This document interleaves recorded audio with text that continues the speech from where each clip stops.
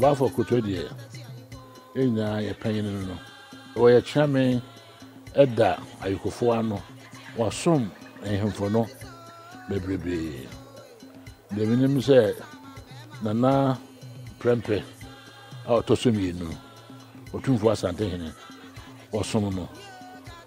A na ɔyɛ kyerɛme ma no.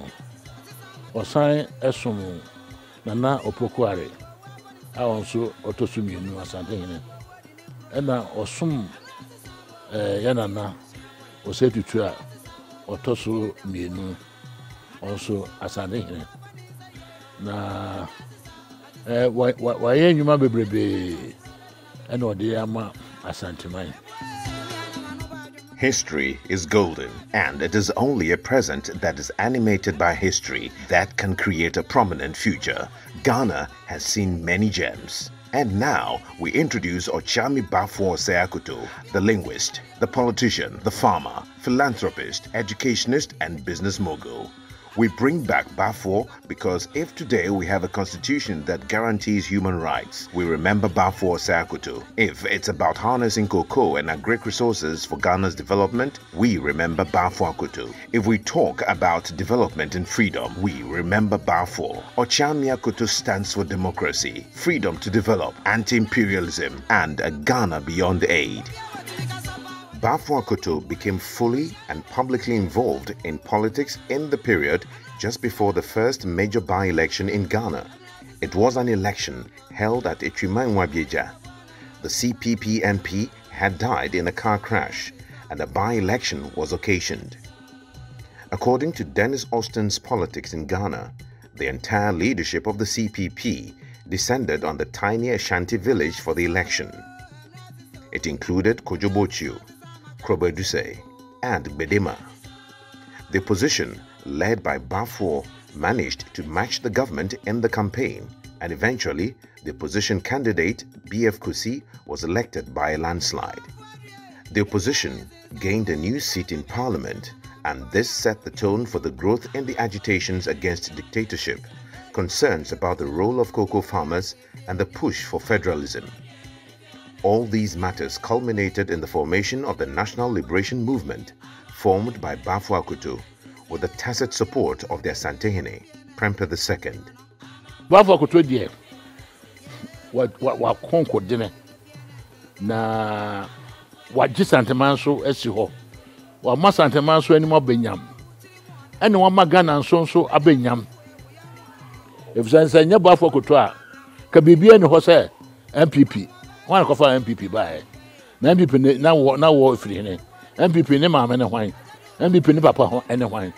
Npp ne papa ne ne maame ɛne nlm yɛ sɛ ɔhwɛ mu a na woyɛ mu nyinaa no ɛfiri national liberation movement mu. National liberation movement no ɛyɛ santehene party ɛna wɔde ne kyeame ɛde to ano ne kyeame baafo akoto nso wɔ- ɛma yɛ akɔpem So when you are celebrating uh, Baffour Akoto, you are looking for an icon of fearless courage in politics, where now every young lawyer can go and file a writ of habeas corpus. Once Baffour Akoto demonstrated that selfless, remember, he wasn't doing all this for himself or for his family. He sacrificed his family, he himself, in order to push people like Busia forward, Dombo, SG Antor, uh, Jatoe Kaleo, and the other uh, people he brought together uh, to form uh, the NLM, later on UP, and so on, Aram Ponsa, uh, and later on people like Kwamena Bartels uh, followed in his footsteps of courage, including recently the late Dr. Kwame Amaku uh, for IC Kwe. They followed in that selfless sacrifice of their personal freedoms, their personal wealth. Appiah Menka sacrificing his personal wealth in order to advance the nation, not themselves, not their families. Thus, Baffour and his party, the NLM, won some seats to gain presence in the 1956 parliament. The list included stalwarts like B.F. Kusi, K.A. Busia, Kurankyi Taylor, Victor Owusu, and Joe Appiah. When, after Baffour's death, we saw that, oh, I see, if the sin has become killing, then we shall also wake up and kill. Then we started vigorously with anybody. We were fighting here and there. And so we could do similar as they did. We were trying to do it too. And we also swore that if anybody dares to commit a crime on any of our member, we shall also revenge. And then it became a hectic game. Hectic game instead of uh, this thing, normal struggle of for this thing, uh, uh, campaigning for each party. After it became a threatening affair. So that was the end of the game. In 1959, Boafo Akoto was also arrested with some others. In 1961, J.B. Danquah with 49 and others were also arrested. And then all over the country. In fact, the leaders of the position were also arrested one by one.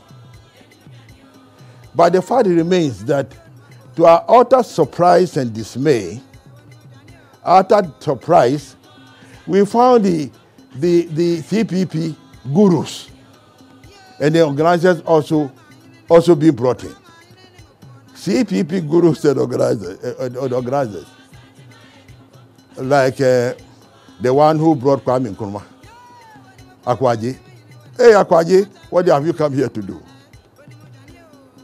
And then the secretary, the general secretary of the CPP, all of them, and then the entire entire staff of the CPP at the headquarters were all arrested. The the the the uh, the drivers, the van drivers, the organize, organizers, and we had them, top men like uh, Kwatila Korte, Amat Ibrahim, and so on and so forth. Lots of them being brought in, into prison. The incarceration of Baffour Akoto under the PDA led J.B. Danquah to file a habeas corpus application in the High Court, demanding the court to order the physical presence of Baffour and the seven others to determine if their arrest was warranted.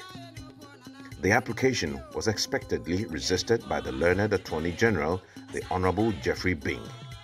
Indeed, Okyeame, senior linguist Bafo Ose Akoto, has left a very big tradition by his suffering in prison.